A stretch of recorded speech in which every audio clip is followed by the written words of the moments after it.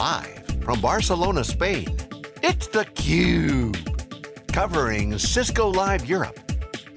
Brought to you by Cisco and its ecosystem partners.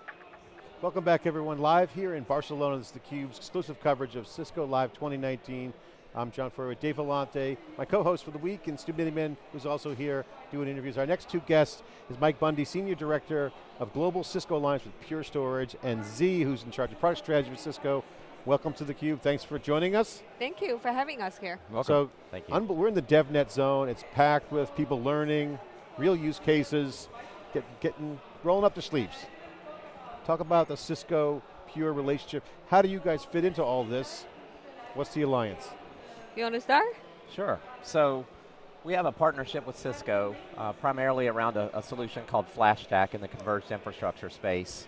And uh, most recently, uh, we've evolved a new uh, use case and application together uh, for artificial intelligence that Z's business unit have just released a new platform uh, that works with Cisco and NVIDIA Uh, to accomplish, you know, customer application needs, and mainly in machine learning, but, but all aspects of artificial intelligence. So.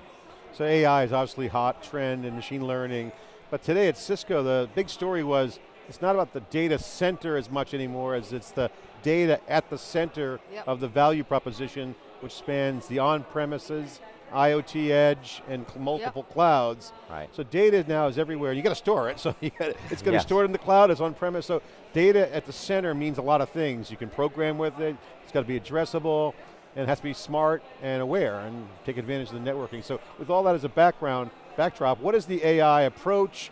How should people think about AI in context to storing data, using data, not just moving packets from point A to point B, but you're storing it, you're pulling it out, you're integrating it into applications, There's a lot of moving parts there. What's the- Yeah, you got a really good point here. When people think about machine learning, traditionally they just think about training.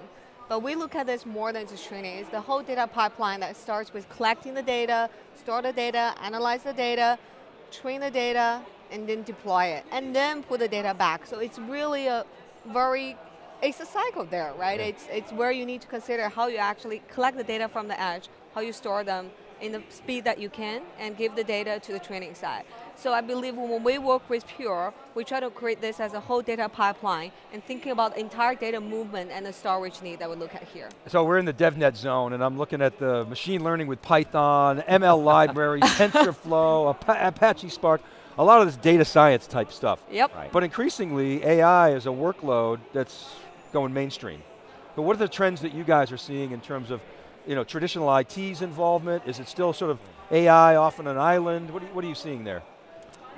So I'll take a, take a gas uh, stab at it. So, you know, really every major company, industry that we work with have, you know, AI initiatives. It's, it's the core of the future for their business. Mm. So, you know, what we're trying to do is partner with IT to get ahead of the large infrastructure demands that will come from those smaller uh, innovative projects that are in pilot mode um, so that they are a partner to the business and the data scientists rather than you know a laggard in the business the way that you know sometimes the, the reputation that, that IT gets. So we want to be the infrastructure solid, you know, like a cloud-like experience for the data scientists so they can worry more about the applications, the data, what it means to the business and less about the infrastructure. So. Okay, yep. and, and so you guys are trying to simplify that infrastructure, whether it's converged infrastructure and you know, other sort of unifying uh, approaches. Is, are you seeing the shift of sort of that heavy lifting of people now shifting resources to new workloads like AI? Um, maybe you could discuss what yeah. the trends are there. Yeah, absolutely. So I think AI started with more like a data science experiment, right? You see one or two data science, a couple of data science experimenting. Now it's really getting into mainstream. More and more people are put into that, and as um, as I apologize, Mike. Mike. Mike. Can we restart that question? my deep apology. I need a GPU or something in my brain, and, and I need to store that data better. You're on Fortnite. Go ahead. Yes. So as Mike has said earlier on, right? It's it's not just a data scientist, it's actually an IT challenge as well. And I think with Cisco, what we're trying to do with Pure here is, you know, the Cisco thing we're saying, we're bridge, right? We want to bridge the gap between the data scientist and the IT mm. and make it not just AI as experiments, but AI at scale, at production level, and be ready to actually create real impact with the technology infrastructure that we can enable. Mike, talk about Pure's position. You guys have announced uh, Pure in the cloud. Yes. You're seeing that software focus.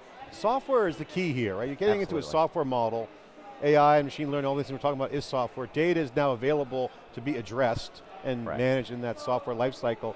How is this, the role of the software for you guys with converged infrastructure at the center of all the Cisco announcements? You're on stage today with Sure. converged infrastructure to the edge.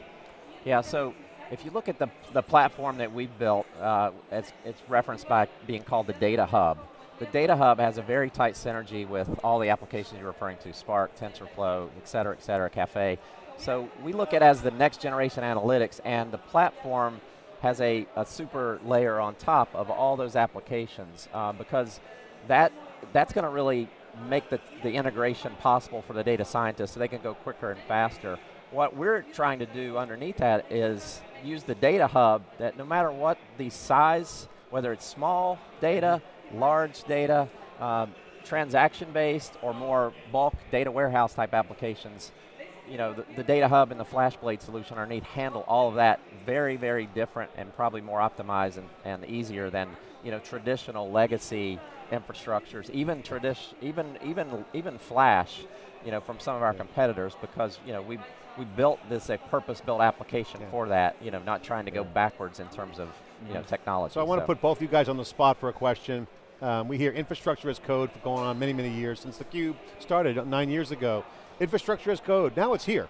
The network's programmable, infrastructure is programmable, storage is programmable. When a customer or someone asks you, how is infrastructure, networks, and storage programmable? And what do I do? I'm, I used to, used to provision storage. I've got servers. I'm going to the cloud. What do I do? How do I become AI enabled so that I can program the infrastructure? How do you guys answer that question? So a lot of that comes to the infrastructure management layer, right? How do you actually using policy and using the right infrastructure management to make the right configuration you want. And I think one thing from programmability is also flexibility. Instead of having just a fixed configuration, what we're doing with Pure here is really having that flexibility, right? Where you can put Pure storage, different kind of storage with different kind of com compute that we have, no matter it's we're talking about two RUs or four RU, that kind of compute power is different and can max with a different storage depending on what the customer use case is.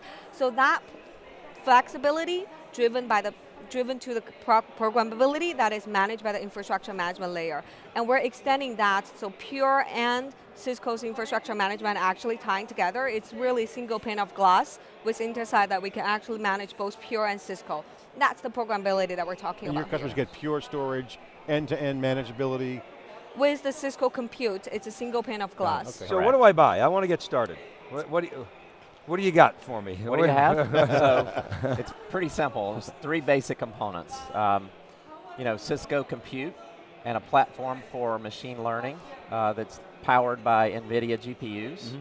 Uh, Cisco FlashBlade, which is the data hub and storage component, and then network connectivity from the number one network provider in the world, from Uh-huh. Cisco. Very simple. and it's a SKU, it's a solution. Yep, it's So- a very, very skew. Um, you know, it's it's very simple. Uh, it's data driven, so you know it's not tied to a specific SKU. It's more flexible than that. So you have Okay. the better optimization of the network. You know, you don't buy a 1000 Series X Well, and okay. then only use 50% of it. It's very customizable. Uh, Okay, so I can customize it for my whatever data science team or my Yes. IT workloads. And provision it for multi-purpose, same way a service provider Yeah. would if you're a large IT organization. Trend trend around breaking silos has been being discussed heavily when you talk about you know multiple clouds, on-premise and cloud and edge all coming together. Yes. How should companies think about their data architecture hmm. on because silos are good for certain things, but, you, but to make multi-cloud work and all this end-to-end and intent-based networking and all the power of AI is around the corner, you got to have the data out there, Right. and it's got to be horizontally scalable, if you Yeah. will. How do you break down those silos? What's your advice? Is there use case? Is there an archi- for an architecture? Yeah, well, I, I think it's a, a classic example of how IT has evolved to not think just silos and be multi-cloud. Uh, so, you know, what we advocate is, is you have a data platform that transpires the entire community, whether it's development, test, engineering, production applications, um, and that you know runs holistically across the uh, entire organization. That would include on-prem. It would include integration with the cloud because most you know companies now require that. Uh, so you can have different levels of uh, high availability or lower cost if your data needs to be archived. So it, it's really you know building and thinking about the data is a platform Yeah. across the across the uh, the company, and not just you know silos for So replication never goes away. never goes away. it's going to be around for a long, long Yes. time. Dev test never goes away either. So. Yeah. Your thoughts on, on Yeah, this? so I think on top of that, it, we believe where your infrastructure should go is where the data goes, right? You want to follow the, where the data is, and that's exactly why we want to partner with Pure here, because we see a lot of the data are, si- are sitting today in the very important infrastructure which is built by Pure Storage, and we want to make sure that we're not just building a silo box sitting there where you have Yeah. to put the data in there all the time, but actually connected our server with Pure Storage in the most manageable way. And for IT, it's the same kind of management layer. You're not thinking about, oh, I have to manage all the silo box or the shadow IT that some data scientists would have under their desk, right? That's the least thing you want it. And the other thing that came up in the keynote today, which we've been saying on the cube, and all the experts, you know, reaffirm is moving data costs money. You got latency costs, and also just costs to move traffic around. Yeah. So moving compute to the edge, or moving compute to the data has been a big hot Yep. trend. How has the compute equation changed? 'Cause I got storage. I'm moving. I'm not just moving packets around. I'm storing it. I'm moving it around. How does it change the compute? Does it put more emphasis on the compute? It's it's definitely putting a lot more emphasis on compute. I think it's where you want a compute to happen, right? You can pull all the data and want it to happen in the center place. That's fine if that's the way you want to manage it. If you have if you have already simplified the data, you want to put it in that way. If you want to do it at the edge, near where the data source is, you can also do the cleaning there. So we want to make sure that no matter how you want to manage it, we have the portfolio that can actually help you to manage that. And as alternative al- alternative processors. Uh, you mentioned NVIDIA. You guys are the first to Yeah. do a deal with them. So. And, Yep. and, other, and other ways too. I mean, you've got to take advantage of technologies like Kubernetes as an example. Yes. So you can move the containers where they need to be, and have policy managers for the compute requirements, and also you know storage, and so you don't have contention or data int- uh, integrity issues. So Yeah. you know, That's a- embracing those technologies in a multi-cloud world is, is very very essential. Mike, I want to ask you a question around customer trends. What are you Yes. seeing as a pattern from a customer standpoint as they prepare for AI and start refactoring some of their IT and or resources? Is there a certain use case that they set up with Pure in terms of how they set up their storage? Is it uh, different by customer? Is there a common Um, trend that you see? You know, there, there are some commonalities, you know, like uh, take financial services, quant trading as an example. We have a number of customers that leverage our platform for that because it's very, uh, you know, time sensitive, high availability data. So really, I think that customers, the, the trend overall of that would be step back, take a look at your data and focus on how can I correlate and organize that um, and really get it ready so that whatever platform you use from a storage standpoint, you're you're thinking about you know all aspects of data and get it in a format and a form where you can manage and catalog because that's kind of essential. I mean, it, it really highlights all the key things that we've been saying in storage for a long time. High availability, integrity of the data, and now you got application developers programming with data. yes. Yep. This is a whole with APIs now. You're slinging APIs around like it's ton the of way it should be. It's the way it should be. Yeah. This is like Nirvana. Finally Yes. got here. How far along are we in the progress? How far are we early? Are we moving the needle? Where are the customers? You customers? mean in terms of the partnership or in terms of Partnership, the AI, customer, ML? AI in general. You guys working together. So you got you got storage, you got networking and compute all kind of working together. Has to be flexible, elastic, like the cloud. Um, I my feeling, Mike can correct me, or you can disagree I'll with me. use data, but.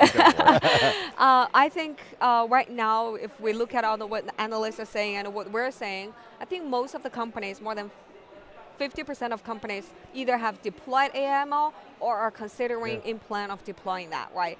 But having said that, we do see that we're still at a relatively early stage because the challenges of making AI deployment at scale, where data scientists and IT are really working together, Yeah. right? You need that level of security and that level of scale of infrastructure and software involving DevNet. So my feeling is we're still at a relatively early yeah, stage. I think we are in the early adopter phase. Um, you know, we've had customers for the last two years that have really been driving this. We work with about seven of the automated car um, you know, driving uh, companies. But you know, if you look at the uh, the data from Morgan Stanley and other analysts, there's about a 13 billion dollar um, infrastructure that's required for AI over the next three years, from 2019 to 2021. So you know that is probably 6x, 7x what it is today. So we haven't quite hit that. So people are doing their homework yeah. right now, setting up the architecture. It's the leader. It's leaders in the industry, not Yeah. the Yeah. mainstream. Yeah. Got it. Yeah, and then everybody else is going to close that gap. And Absolutely. that's where you guys come in is helping At them do scale. that. That's, yeah. yeah. And- It That's what we is wanted- gonna be That's like what we built this this platform Yeah. with Cisco on. Uh, is really the FlashStack for AI is around scale uh, for you know tens and twenties of petabytes of data Mm. Yeah. that will be required for these and it's a targeted Yeah. solution for AI Yes. with all the integration pieces with Cisco built in. Yes. Yep. Great, Yes. awesome. Well, keep track of it. Exciting. We think Awesome. yeah, it's cliche to say future-proof, but this in this case it literally is preparing for that future. The bridge to Yes. the future. Yes. You know, as the new saying Absolutely. at Cisco goes. It's the Cube coverage here live in Barcelona. We're back with more live coverage after this short break. Thanks for watching. I'm John Furrier with Dave Vellante. Stay with us. Thank you.